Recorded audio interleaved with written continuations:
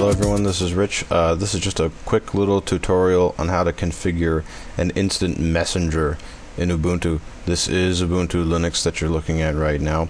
Uh, at the bottom of my screen I have a web browser. This is uh, the Firefox browser which comes with it.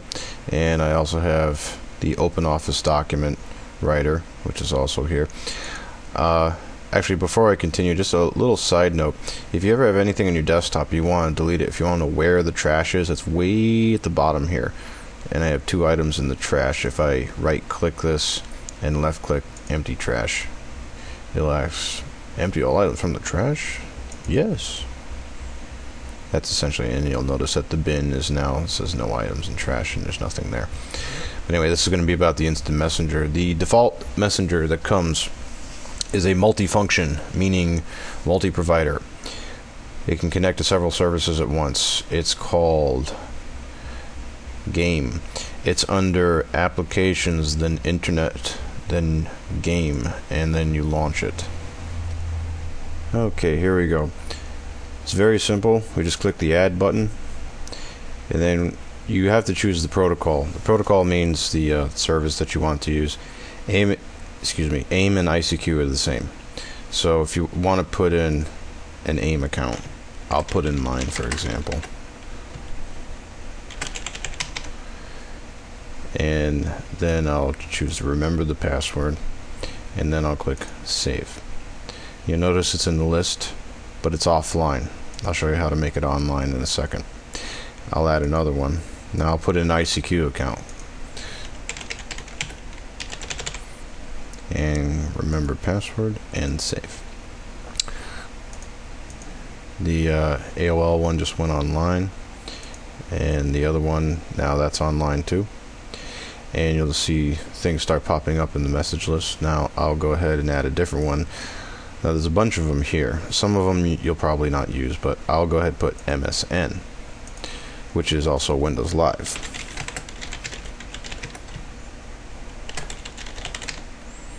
remember the password. Hit save.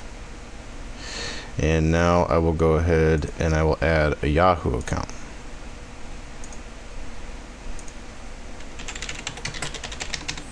Remember the password? Click save. And that is essentially it. When you start loading in accounts and as they become online you'll see more things start to appear in the message list now what you'll notice here is that in the uh, friend list here, the icons look really huge. You can click on buddies and then where it says show buddy details, you get rid of that and the icons are a lot more manageable size. Depending on the service they're on, that's the icon you'll see. For AOL ones, you've got the AOL icon and Yahoo ones and so on and so forth. And uh, also in the preferences area you have basically all the preferences that you have in most messengers. You can choose to show formatting or buddy icons or animations. You can change the fonts. You can change the smiley theme.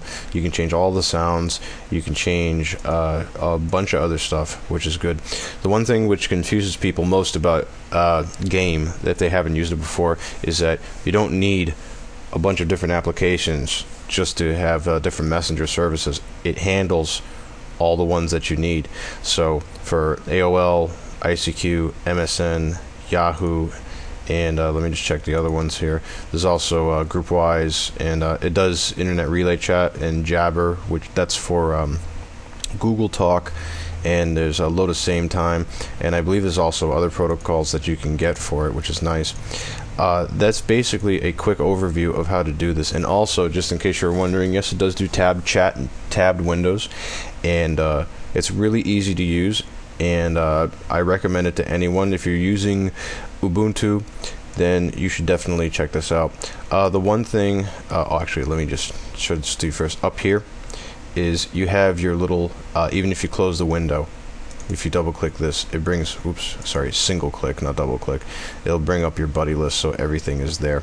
Uh, the one thing is you will be missing a lot of features that's in the mainstream Windows versions of these messengers, but if you're using Ubuntu, that's basically a quick overview of how to uh, use uh, Gaim. comes with the operating system. There are others available, but most people will be using this. And that's how you do it.